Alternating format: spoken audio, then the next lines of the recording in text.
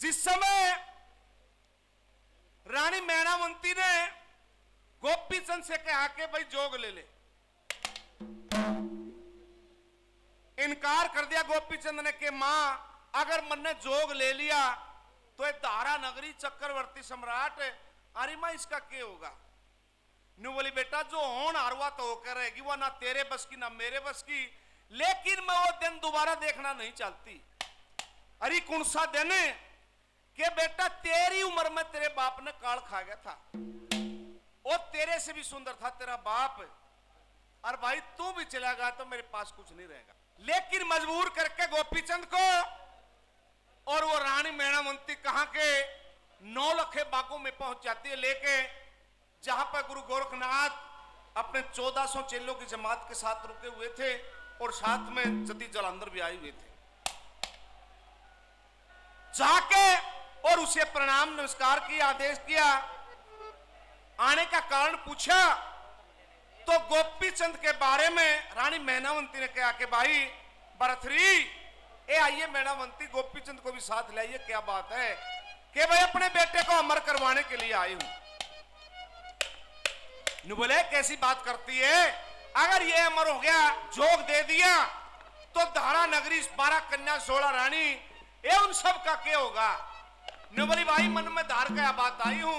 बेटे को अमर कर दे, जोग दे दे। मजबूर कर दिया और गोपी चंद को जोग दवा के और वापस आ जाती है। अब जोग की रस्म रिवाज उसी के अनुसार गोपी चंद ने हाथ जोड़े, चरण छुए अपने गुरु महाराज के और प्रार्थना करता है कि हे गुरुवर, माँ ने तो मेरे को जोग दिवा दिया। अब जोग की क्या रस्म है? वो सब मेरे को आप बताइए और आवागमन से मेरे को मुक्त कीजिए और मुझे जोग दीजिए। तो हाथ जोड़ को प्रार्थना करता है और एक बात में गोपी चंद क्या कहता है और क्या बताता बोला।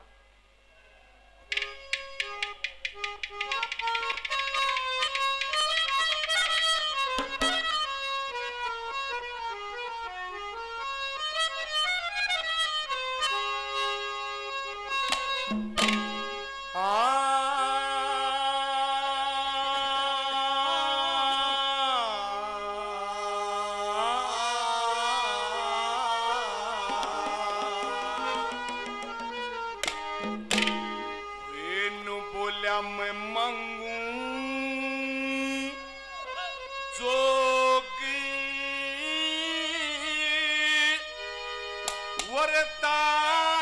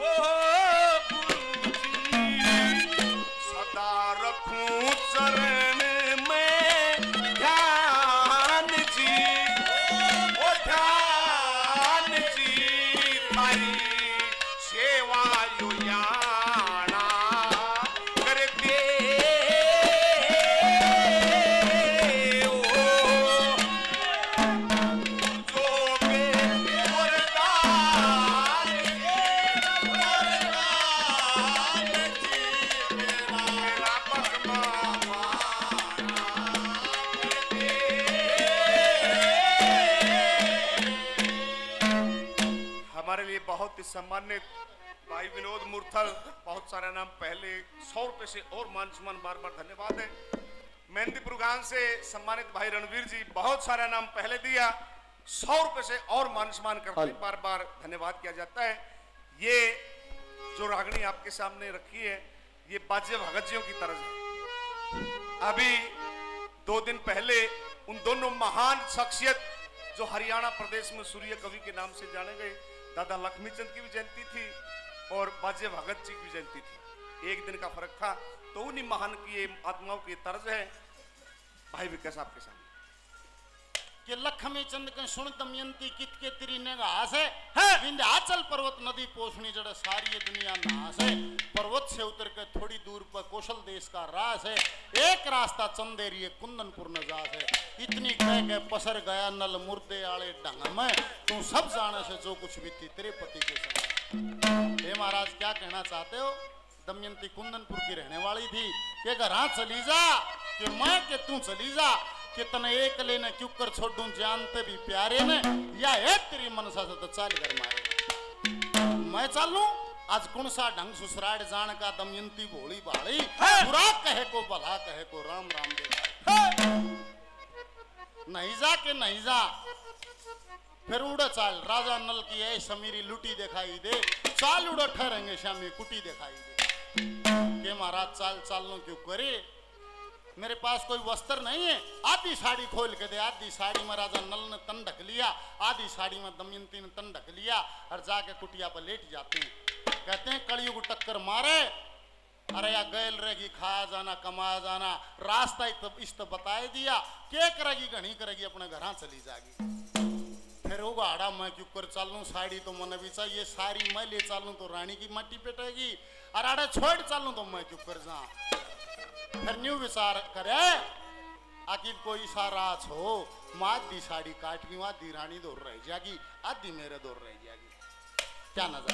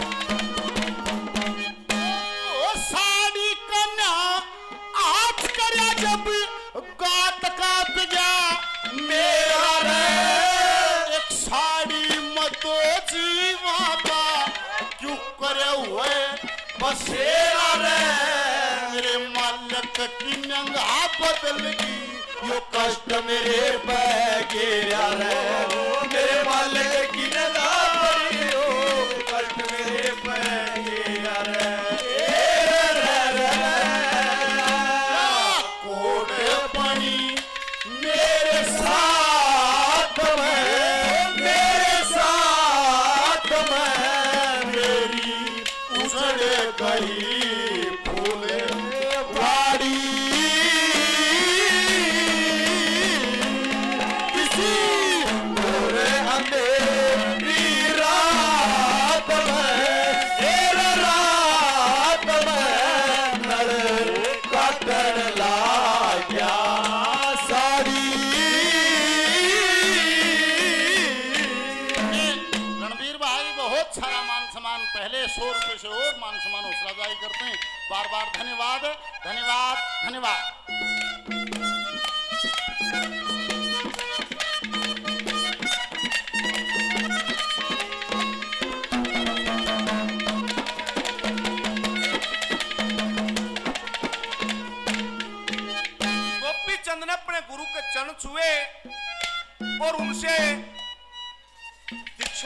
की प्रार्थना करी लेकिन न्यू उसके गुरुजी ने के भाई अब भी वक्त है गोपी चंद तन्ने खाने को छत्तीस प्रकार चाहिए नौकर चाकर दास दासी चाहिए ठंडे गर्म जल के नहाने को कलश चाहिए और लगाने के लिए अतर फलेल चाहिए। यहाँ पे कुछ नहीं है यहाँ पे धूने की राह गोल कर पीड़ी और रख है मसल बोला गुरु जी मन तो ये चाहिए वो ना चाहिए। क्या बताया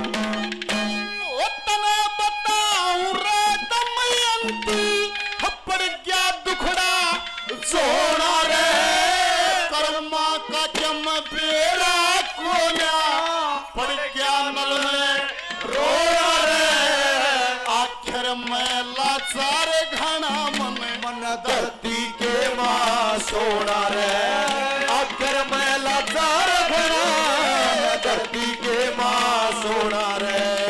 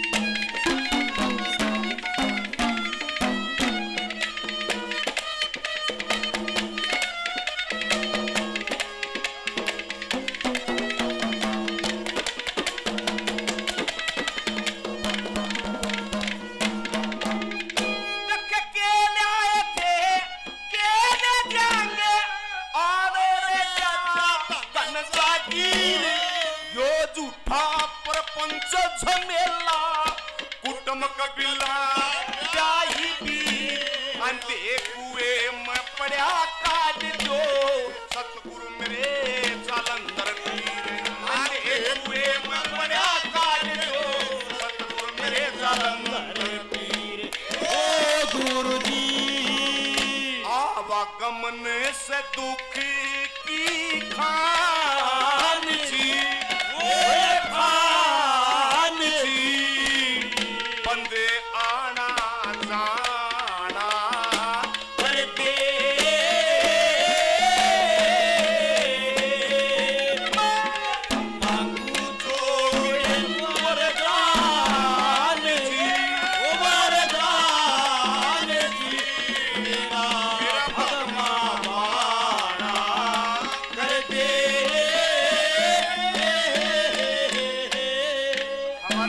परम पूजनीय बाबा सुखवीर दास जी। दो सौ रुपए से आशीर्वाद देते हैं बार बार धन्यवाद है। मुरथल से सम्मानित भाई विनोद जी, हज़ारों रुपए पहले मान सम्मान में दिए, सौ रुपए से और पार्टियों का मान सम्मान करते हैं। भाई का बहुत बहुत धन्यवाद किया जाता है। धन्यवाद।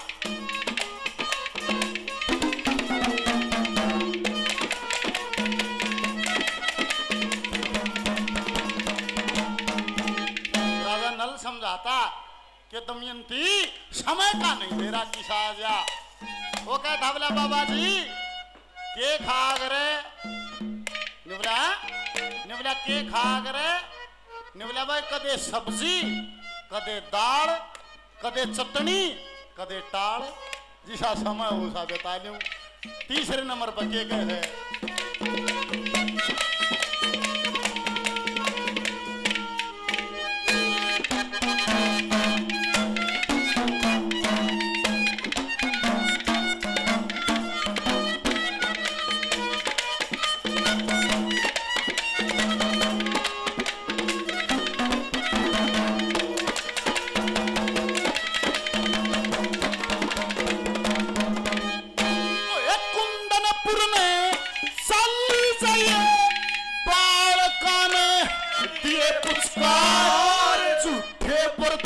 पड़ेंगे मांगने अपना लिए वक्त विचार सोच लिए मददवा होगी सबर का मुक्का लिए मार। सोच लिए मददवा होगी सबर का मुक्का लिए मार।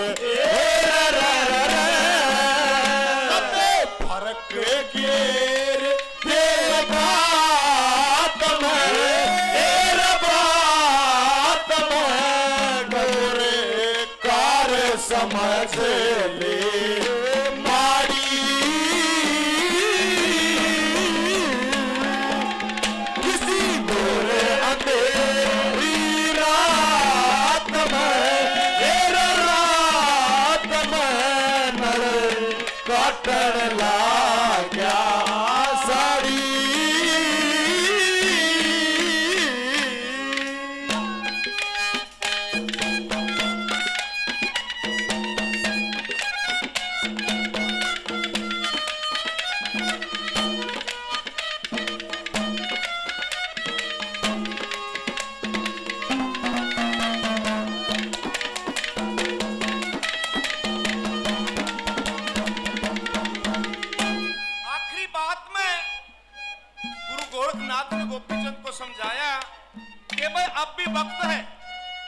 माँ ने शायद बेटे की मोह ममता माँ के फैसला ले लिया। तू अब भी अपने फैसले को बदल सकता है और अपने घर जा बारह कन्या, सोलह रानी, तेरे बगैर वो बहुत परेशान होंगी। लेकिन गोपी चंद्र हाथ जोड़कर कहा कि गुरु जी मैंने माँ का आदेश भी पुगाना है और इस जीवन मरण के आवागमन से मैंने मुक्त होना है। मेरे को मुक्त कर दो। मैं नहीं रहना चाहता क्या बताया आखिरी में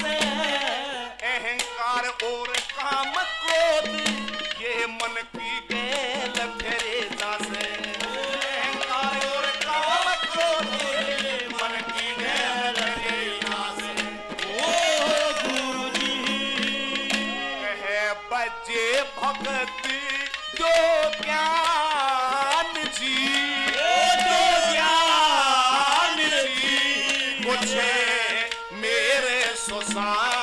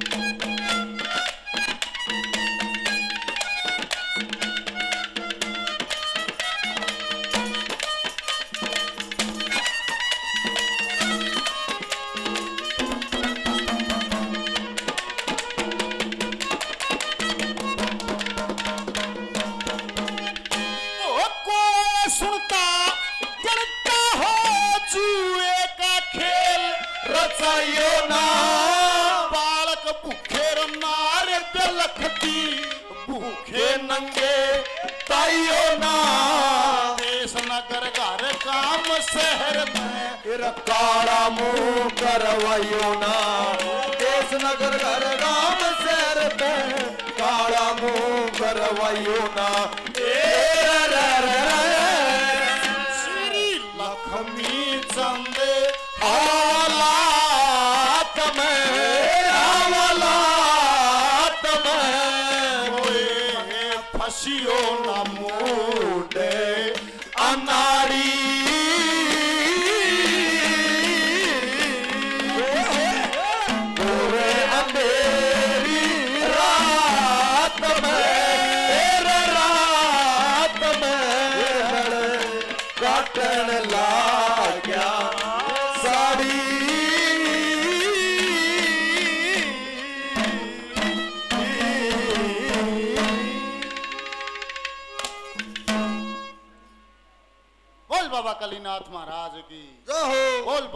कमलगिरी महाराज